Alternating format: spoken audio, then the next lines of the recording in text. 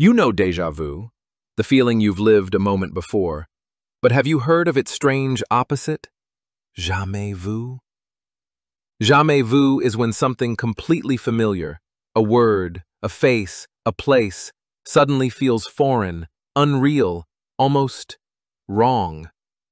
Imagine staring at a common word like door, and the longer you look, the more it stops making sense. Or seeing a friend you've known for years and for one bizarre instant, something feels off. That's jamais vu, your brain misfiring in the opposite direction. So why does it happen? One explanation, neural fatigue. When your brain processes something extremely familiar, the neurons sometimes overfire, causing your mind to temporarily disconnect from meaning.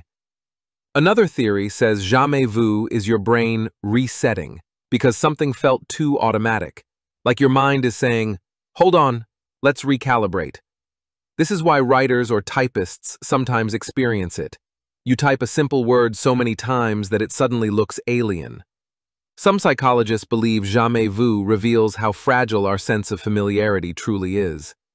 Everything we consider normal is just a pattern the brain recognizes, until it doesn't. And for those few seconds, reality feels like it slips, like the world is both known and unknown. So while deja vu feels like a memory from another life, jamais vu feels like forgetting the life you're in. A tiny crack in the everyday illusion we call normal.